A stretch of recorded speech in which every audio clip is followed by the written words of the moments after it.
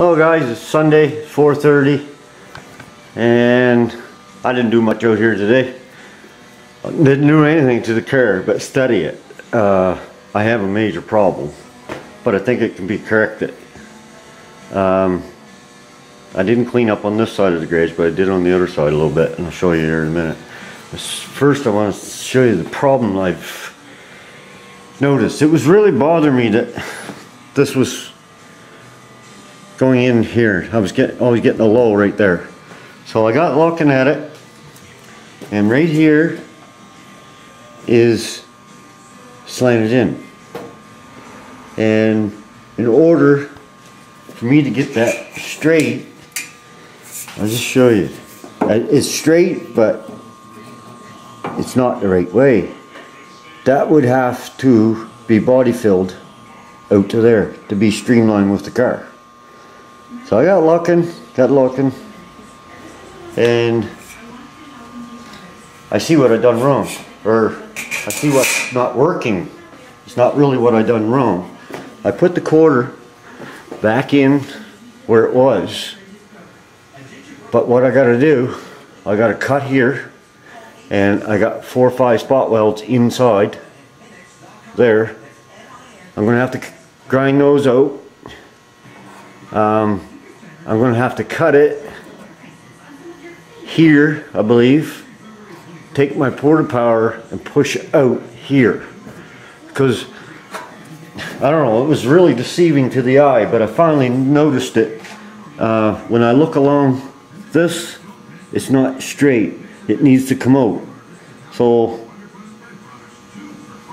it was a lot of work, but I'm going to have to grind all the body fill back off from here to there and get this brought out square the way it should be compared to the front.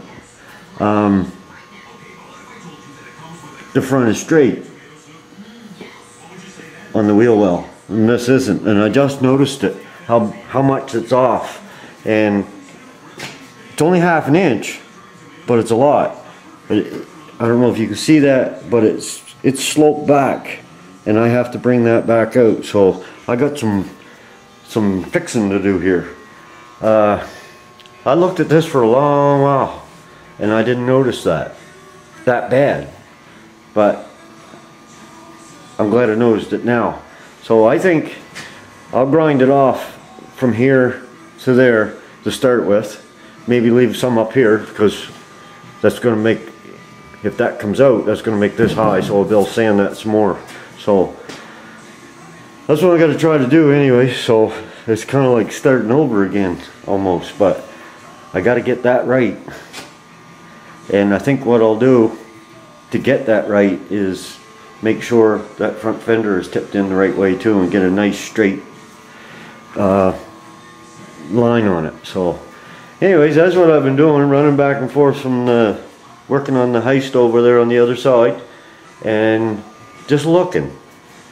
And actually I noticed it last night and I thought about it thought about it and I come out this morning and I start looking and uh, I think this is in the right place here compared to the other side but here it is sloped forward. So that's what's causing me all the trouble. Uh, and I if I body I was trying to keep this in here but uh, that's why I was keep getting the low. And if I had body filled that, I would have been out to there. Half an inch. Would have brought me out to about there. And it wouldn't have left me much of a wheel, uh, wheel arch left. So, um, yeah, you can see it. It's plain as day now. So, I got to correct that before I go any further. Uh, hopefully this is okay. Uh, um, it sure looks okay. And this is all working out good here. But once I get that out, I think I'll have a better luck getting that area straight. So anyways, uh, that's what I've been doing all day uh, between working on the, the heist over here.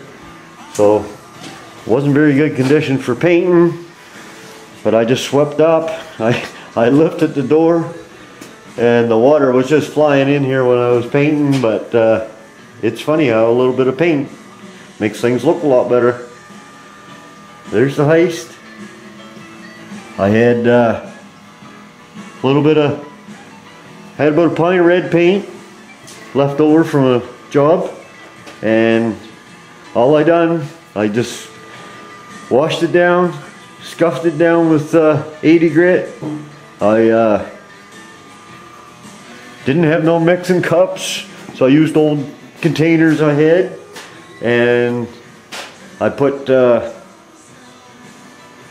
two coats of epoxy primer on it. Oh, I, I scuffed it all down, wa washed it all again with wax and grease remover, and put two coats of epoxy primer on it, two coats of red base, just enough base, and then I give her two quick coats of clear.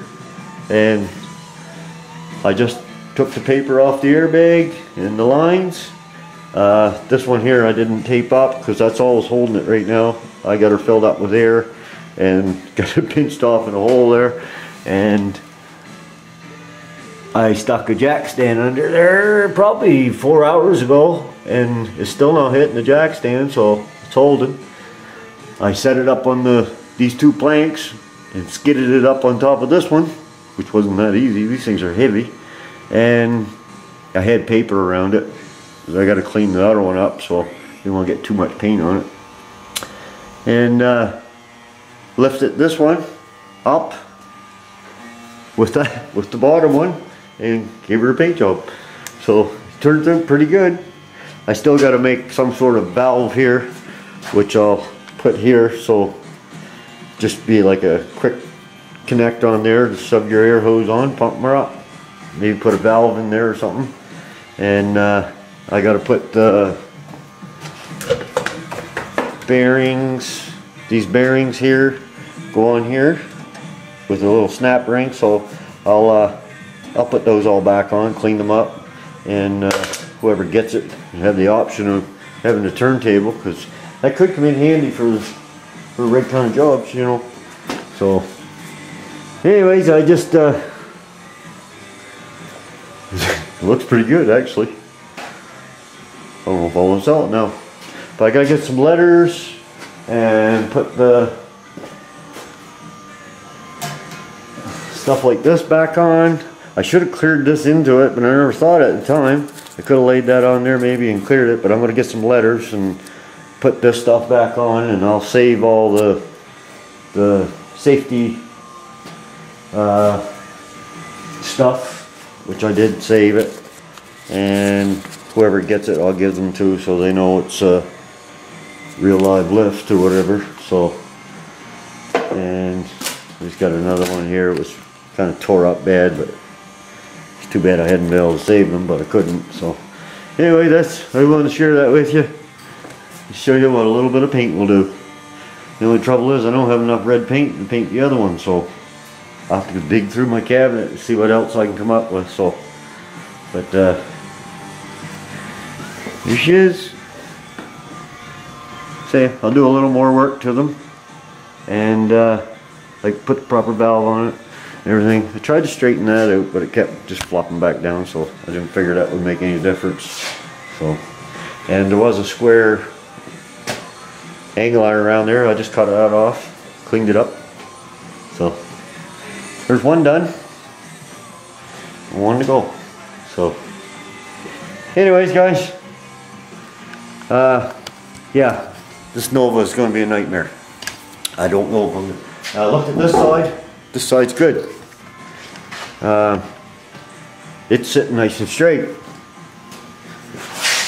So, like I said, this side's going to be easier, and the wheel well is nice and uh, straight this way. So, so this side is definitely going to be easier, but I do I got some uh, finagling to do on the other side. So we're gonna next Friday.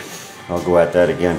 So see if I can fix it up. And that way I can get that body fill on the right way. Cause I knew was, I was putting too much on, and there had to be a reason because didn't. If it's just you couldn't see it with your eyes. So, well, I did see it with my eyes, but it took me a while. So anyways, I'm going to let you go there. And uh, hope everybody has a good week. And uh, thanks for watching. And we'll talk to you later. Have a good one.